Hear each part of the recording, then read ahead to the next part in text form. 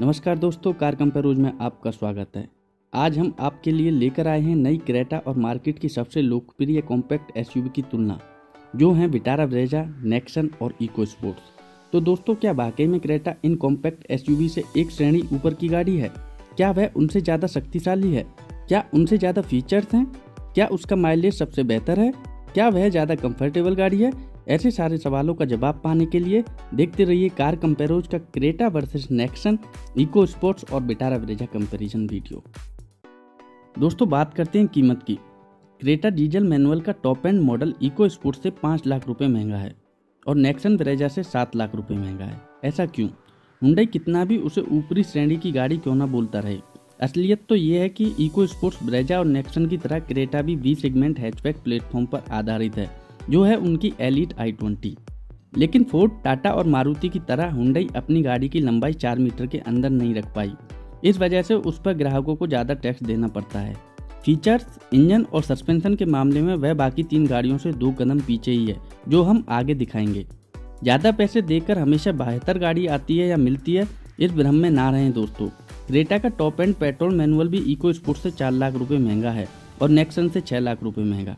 Creta का automatic top end model S X O trim में सिर्फ़ उपलब्ध है, उपलब्ध ही नहीं है उसमें तो। वह सिर्फ़ mid range S X trim में उपलब्ध है और इसके बावजूद वह इको स्पोर्ट्स के टॉप एंड ऑटोमेटिक मॉडल से तीन लाख रुपए महँगा है और ब्रेजा नेक्सन से छः लाख रुपए महँगा है। दोस्तों, बात करते हैं यूनिक फीचर्स की।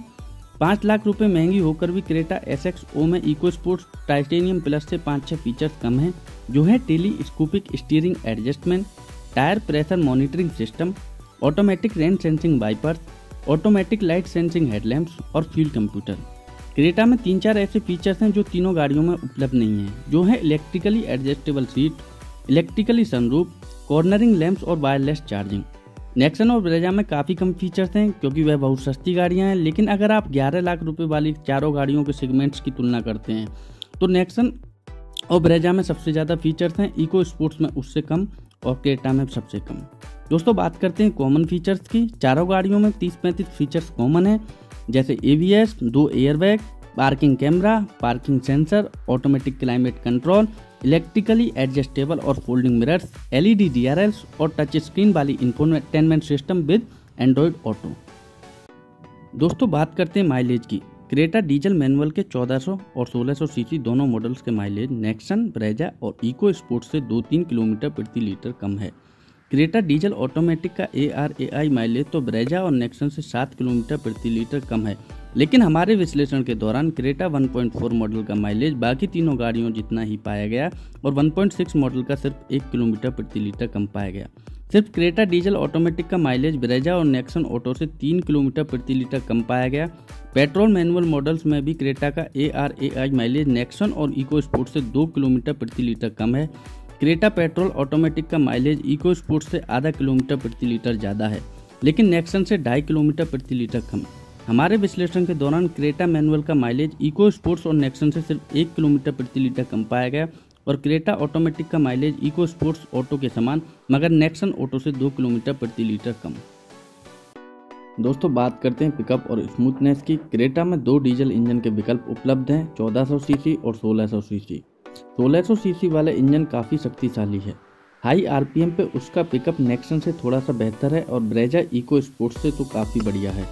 लेकिन उसमें टर्बो लैग की समस्या है। 2000 आरपीएम के नीचे उसका पिकअप बहुत ही कमज़ोर है। उसके विपरीत नेक्सन और इको स्पोर्ट्स में बिल्कुल भी टर्बो लैग मौजूद नहीं है। इस वजह से शहरी ट्रैफ़िक में गाड़ी चलाते वक्त आपको क्रेटा में बार बार गियर बदलने पड़ते हैं। क्रेटा के 1400 सीसी मॉडल का पिकअप तो बहुत ही कमज़ोर है और उसमें भी टर्बो लैग की समस्या है। बस स्मूथनेस के मामले में हुंडई के डीजल इंजन अन्य तीनों गाड़ियों से काफ़ी स्मूथ और शांत हैं। क्रेटा पेट्रोल में 1600 सीसी का बिनो टर्बोचार्जर वाला इंजन है। उसमें नेक्सन के 1200 सीसी टर्बोचार्ज इंजन जितना टॉर्क भी उपलब्ध नहीं है। ओवरटेकिंग करते वक्त उसका पिकअप नेक्सन से काफ़ी कमज़ोर लगता है। इको स्पोर्ट्स पेट्रोल का पिकअप बिल्कुल क्रेटा के समान है। स्मूथनेस के मामले में क्रेटा पेट्रोल इको स्पोर्ट्स और नेक्सन से थोड़ी सी बेहतर है। ऑटोमेटिक की बात की जाए तो क्रेटा और इको स्पोर्ट्स में टॉर्क कन्वर्टर प्रकार का ट्रांसमिशन दिया हुआ है, जो ब्रेजा और नेक्सन के ए से थोड़ा सा स्मूथ है। लेकिन ए जितनी तेज़ी से गियर नहीं बदल पाता है और माइलेज भी ए से बहुत कम देता है। दोस्तों, बात करते हैं अंदरूनी जगह और कंफर्ट की। ये चारों गाड़ियाँ छोटी हैचबैक्स के प्लेटफॉर्म पर आधारित हैं। क्रेटा आई ट्वेंटी के प्लेटफॉर्म पर इको स्पोर्ट्स फेस्टा के ब्रेजा स्विफ्ट के और नेक्सन इंडिका विस्टा के प्लेटफॉर्म पे।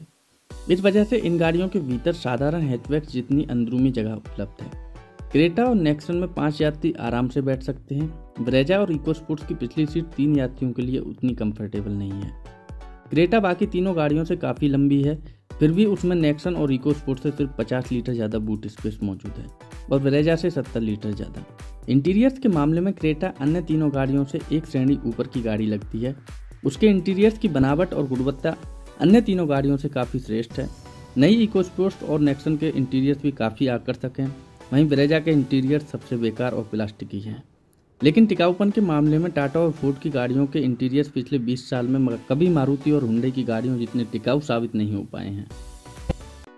दोस्तों, बात करते हैं पकड़ और सस्पेंशन की। क्रेटा का चेजिस सस्पेंशन कितना बकवास है, यह नेक्सन ब्रेजा और इको स्पोर्ट से तुलना करके पता चल जाता है। क्रेटा का सस्पेंशन कुछ ज़्यादा ही नरम बनाया गया है। इस वजह से वह धीमी रफ्तार पर गड्ढों को अच्छे से सूख लेती है, लेकिन जैसे ही रफ्तार बढ़ने लगती है, वह गड्ढों पर उछलने लगती है और अपना संतुलन खोने लगती है। इसके विपरीत नेक्सन किसी भी रफ्तार पर गड्ढों को क्रेटा से काफ़ी बेहतर सूख लेती है और अपना संतुलन जमाकर बनाए रखती है। इको स्पोर्ट्स का सस्पेंशन नेक्सन से थोड़ा सा सख्त है, लेकिन फिर भी वह गड्ढों को क्रेटा से बेहतर सूख लेती है।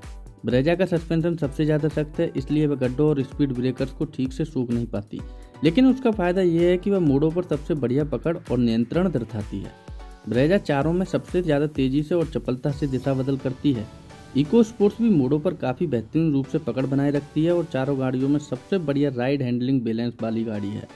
नेक्सन भी गड्ढों पर अच्छी पकड़ बनाए रखती है, लेकिन उसमें बॉडी रोल यानी कि दाएँ बाएँ डुलने की प्रवृत्ति भी मौजूद है। लेकिन सबसे घटिया है क्रेटा, जिसमें सबसे ज़्यादा बॉडी रोल मौजूद है। वह मोड़ों पर सबसे जल्दी अंडर स्टीयर करने लगती है, यानी कि फिसलने लगती है। और उसका स्टीयरिंग भी सबसे हल्का और निर्जीव है। दोस्तों, बात करते हैं क्वालिटी और मेंटेनेंस की। मारुति और हुंडई की सारी गाड़ियाँ आज तक बहुत टिकाऊ और भरोसेमंद साबित हुई हैं। इसके विपरीत टाटा और फोर्ड की गाड़ियाँ काफ़ी बदनाम रही हैं। फोर्ड ने अब उसके इको स्पोर्ट्स और आइकन के दिनों से काफ़ी सुधार किए हैं। लेकिन आज भी वह हुंडई या मारुति के आसपास भी नहीं है। टाटा मोटर्स की गाड़ियाँ अच्छी दिखने लगी हैं, इसलिए उनका टिकाऊपन भी अपने आप सुधर गया होगा, ऐसा सोचने की गलती बिल्कुल भी ना करें। आज भी टाटा मोटर्स की गाड़ियों में सबसे ज़्यादा बिगाड़ पाए जाते हैं। टाटा मोटर्स की सर्विस तो उससे भी बदतर है। फोर्ड की सर्विस भी उतनी अच्छी नहीं है, मारुति और हुंडई दोनों की सर्विस काफ़ी अच्छी है। टाटा और फोर्ड के सर्विस सेंटर भी मारुति और हुंडई से काफ़ी कम है। इस सब का नतीजा सेकेंड हैंड मार्केट में साफ़ साफ़ दिखाई देता है। जहाँ मारुति और हुंडई की गाड़ियाँ टाटा और फोर्ड की गाड़ियों से काफ़ी बहुत काफ़ी बेहद ज़्यादा या बहुत ज़्यादा कीमत पाती हैं। दोस्तों, बात करते हैं अंतिम निर्णय की। तो दोस्तों, जैसा आपने देखा, हुंडई चारों गाड़ियों में सबसे घटिया चैजिस सस्पेंशन और इको स्पोर्ट से पाँच फीचर्स कम देने के बावजूद अपनी गाड़ी छः लाख रुपए महँगी बेच रहा है। पिकअप, माइलेज, अंदरूनी जगह और कंफर्ट के मामले में भी वह छः लाख रुपए ज़्यादा देने लायक बिल्कुल भी नहीं है। अगर आप मैनुअल गियर वाली गाड़ी खरीदना चाहते हैं तो क्रेटा के कमज़ोर लो एंड टॉर्क के से आपको हर रोज जूझना पड़ेगा। ज़्यादा पैसे देकर भी हर रोज की माता पच्ची खरीद लेना वाकई में एक बहुत बड़ी गलती रहेगी दोस्तों। तो अगर आपको मैनुअल गियर वाली गाड़ी खरीदनी हो तो इको स्पोर्ट्स टाइटेनियम प्लस आपके लिए सबसे बढ़िया पर्याय है। उसमें आपको क्रेटा से ज़्यादा फीचर्स दमदार लो एंड टॉर्क बेहतरीन पकड़ और सस्पेंशन कंफर्ट तो मिल ही जाएगा, लेकिन आपके पैसे भी बच जाएँगे। लेकिन अगर आप ऑटोमेटिक गाड़ी खरीदना चाहते हैं तो इको स्पोर्ट्स में डीजल ऑटोमेटिक पर्याय उपलब्ध नहीं है। नेक्सन और ब्रेजा दोनों के डीजल ए मॉडल बिल्कुल लाजवाब हैं, लेकिन नेक्सन टिकाऊपन में और टाटा की खराब सर्विस के कारण थोड़ा जोखिम भरा पर्याय हो सकता है। इसके विपरीत ब्रेजा ए बहुत ज़्यादा भरोसेमंद और किफ़ायती पर्याय है। इसलिए इको स्पोर्ट डीजल मैनुअल और ब्रेजा डीजल एएमटी हमारी इस प्रतियोगिता की विजेता हैं। दोस्तों, अगर आपको नई क्रेटा इको स्पोर्ट्स, नेक्सन या ब्रेजा की अन्य गाड़ियों के साथ कंपैरिजन देखने में दिलचस्पी है तो इस वीडियो को लाइक करें हमारे लेटेस्ट वीडियोज़ का नोटिफिकेशन पाने के लिए सब्सक्राइब करें और अपनी प्रतिक्रिया दर्ज करने के लिए नीचे दिए गए कमेंट सेक्शन का इस्तेमाल करें। धन्यवाद।